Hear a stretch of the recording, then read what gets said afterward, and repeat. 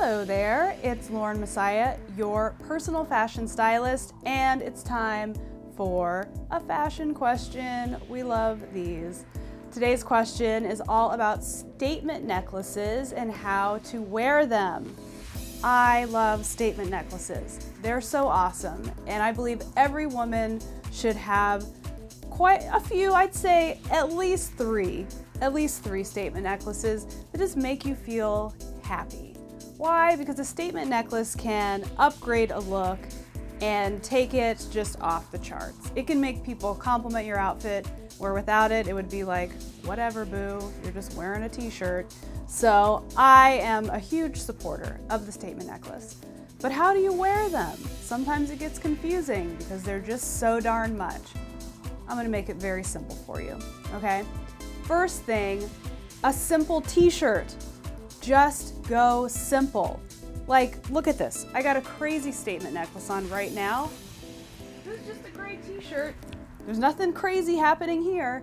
I could easily just wear this with jeans, with black leather pants. It's just a t-shirt and some darn pants or a skirt. But you put the necklace on and all of a sudden we've got an outfit We've got something interesting. So don't overthink like what shirt you can wear with it. Just go into your drawer of basics and bust that out, okay? So that's, that's first things first, okay? Next is anything that has a crew neck or a higher neckline. I'm not talking about a turtleneck, okay? Now we're getting into some advanced stuff. We're sticking to the basics. But I really dislike a statement necklace with something like a V-neck or like a boat neck. I don't like my statement necklaces to be against too much skin, all right?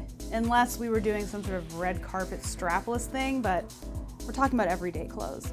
So avoid V-necks, anything with a lot of exposed skin, and go something where it just, it just meets the garment, just meets it where it's at. Look at me covering the neckline of this crew neck t-shirt.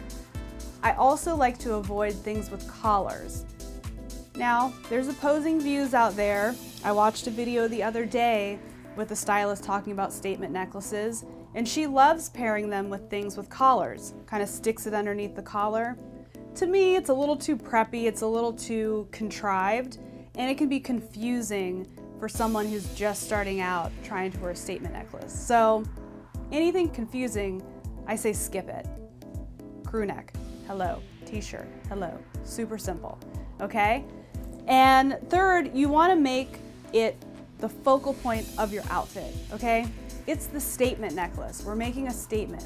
So please don't muddle it up with a pair of earrings, with some crazy headband. Like let that accessory shine. Let's not put crazy rings and an armful of bracelets. Let's let this be the thing that grabs all of the attention, okay? And lastly, don't be afraid to wear your statement necklace more than once. Like you can make it your signature thing. I just bought, let's see, here it is. I bought this bad boy the other day. Woo! Let me tell you, I put this in my shopping cart and then when I checked out, it was sold out. And then two weeks later, it reemerged. So this is my, this is my boo. And I wear this with everything. I can dress it up with a little black dress. I can wear it with a t-shirt. I don't care if I wear this thing two days in a row. It's kind of my thing. So don't be afraid to get a lot of use out of your statement necklace. It's okay. It can be your signature piece. And because you can wear it in so many different ways, it's totally cool. All right? So those are my tips for how to style a statement necklace. I hope those tips were helpful.